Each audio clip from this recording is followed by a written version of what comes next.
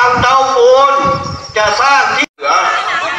ตอนนี้เขื่อนทุกเขื่อนกันพี่น้องนักข่าวพี่น้องสื่อมวลชนกับปาห้องแล้ว เพราะฉะนั้นป้า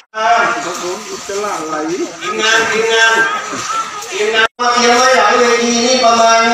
สองเหยือกกินน้ำอุ่นๆตลอดนะครับน้ำเย็นกินไม่ได้ลงไอ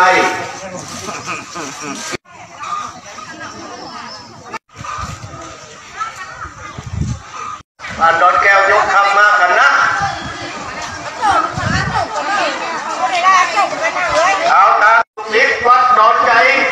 ไปลำเรียงเก้าอี้ออกมาพี่น้องตามสบาย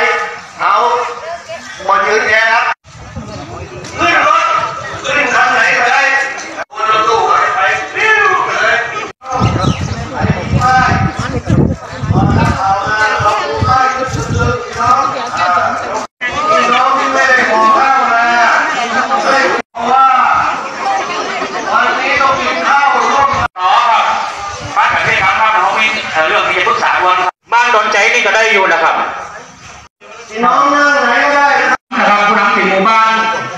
แล้วก็ตำรวจหมู่หกนะครับตำรวจบ้านหมู่หกมาให้ตำรวจบ้านของเราฝ่ายปกป้องประชาชนนะครับ นี่แต่งมาเต็มยศเลยวันนี้ตำรวจมาจากอำเภอสองมาแล้ว มาขอ